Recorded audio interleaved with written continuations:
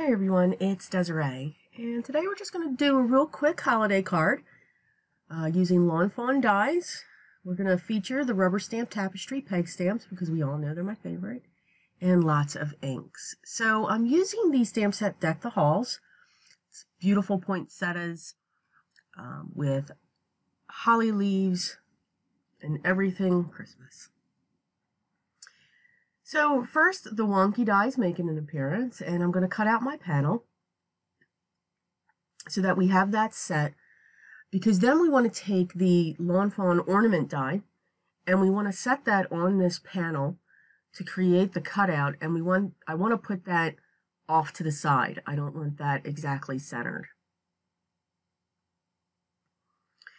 We're then going to, I have some gold shimmer paper and some black and that's going to use for the ornament topper and the string that holds the ornament. So we'll actually work with those a little bit later. We've got a lot of stamping and trying to figure things out to do. So I'm going to use the real red from Stampin' Up. I want to get my sentiment on here. And this sentiment is absolutely beautiful. It simply says joy. And it's from an Echo Park stamp set um, I will definitely link it below. Um, they also have another sentiment in there, I believe. I think I, I used it in another video. Um, but I, I just love the sentiments that are in there and some of the images. So I'm now going to take this panel and I want to mark where that opening is when it comes to the cutout on the design panel that we have. Of course, I'm going to be using a four and a quarter by five and a half top folding card base with my Neenah 80 pound solar white cardstock. And once I have it marked where that is, I'm going to use the cutout, the, the insert piece, and I'm going to draw around that. That'll be a little bit wider than what the actual opening is, just in case I don't erase all of the pencil marks. So lots of inks. So first I'm going to use Love Letter and Ladybug. I really tend to go to my Memento Dewdrops when it comes to the peg stamps. It's just easier to maneuver. It's easier to work with for me. It doesn't mean that you cannot use other inks. I mean, I, Lord knows we all have all kinds of inks. Um, sometimes when you use a lot of colors, it's just easier to have the dewdrops or the small squares. So the beauty of this peg stamps you you just stamp away. So I use the two colors to do the poinsettias. I'm now bringing in the holly leaf. I'm going to use New Sprout and Bamboo Leaves. And again, they have a registration mark, a line that's on the peg. And you just want to know where that is in relationship to your stamp so that you can just keep turning it and angling it and placing the stamp wherever you want it. I'm moving very quickly I've gone through the one color. Here's the second color. And again, you don't, the beauty of these stamps is you don't have to be perfect. It's okay if you overlap. It's okay if it's not perfectly butted up against it. Okay, next I'm using the pine cone and I'm using rich cocoa for that and just placing those throughout as well.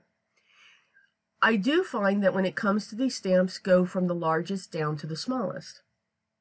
And then that seems to work out better. The greatest, the great thing about this stamp set is there's a lot of small little tiny ones. Like here's a little tiny uh, branch, like a twig type thing. So I'm using um, olive when it comes to the ink color and I'm just placing those around and you can see I'm, I'm going down into the point I'm coming up along the sides I'm making it uneven again it doesn't have to be symmetrical this is now like a, a viney twig. I'm not sure what else you would call it.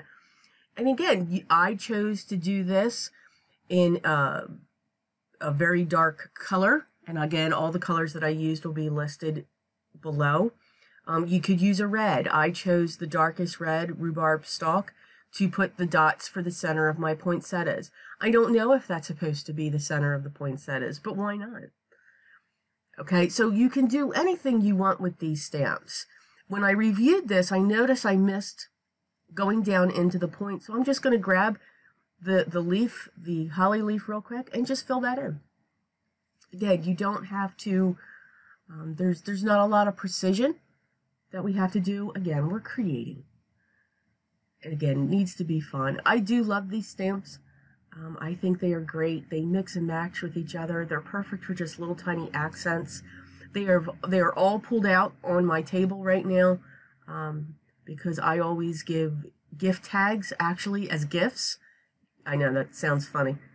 Um, so that they I use them a lot on my gift tags to design them. So back to the project. So I've put some foam tape on the back of that panel and I've placed it down on my card. So the panel is raised up and the designs down onto the card base. So again, just giving us a little bit of dimension. I'm going to add a piece of foam tape to the ornament topper. And again, I chose that to be glow, uh, glowed, mm -hmm, gold glitter paper from my stash. And then I used black for the tie or the string that comes down for the ornament. This was a really pretty project or a very quick project as well. Actually, I, think this became uh, my card for the year to, to give with my presents. Um, I really like it, the simplicity of it. You can make it even more fancy. You can add some um, glitter pen to it. You can add some dar stardust around the outside. There's all ways to make it even fancier and even more embellished. So I hope this gives you an idea. You don't have to use the peg stamps for this, but I encourage you to check out their website. Their link and all the materials that I used will be will as always be linked below. If you like this video, hit the thumbs up. If you haven't already subscribed, please do so. We have a great time here. Um, we learn from each other. We, we talk within each of the videos, which I think is great. If you have any comments or questions, I encourage you to leave them below as well. Thank you everyone for supporting me. And remember, always be creative.